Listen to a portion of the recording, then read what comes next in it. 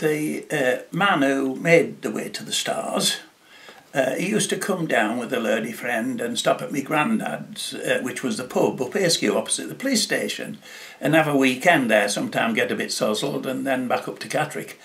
Uh, and uh, uh, he said one day, I'm going to make a film.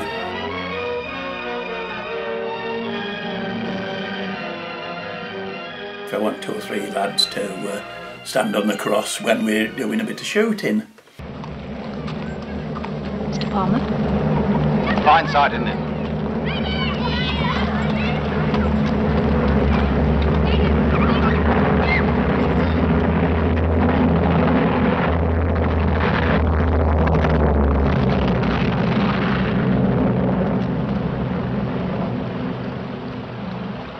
This is me on in the way to the stars.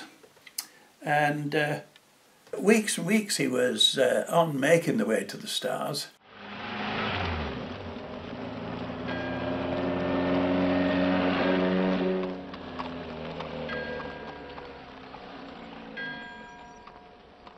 Then eventually he took us up to show us some of the shots that they'd taken up there. And uh, a week or two later, when he says, uh, down at Grandad's, having a few beers again, uh, he, uh, he gave me some money.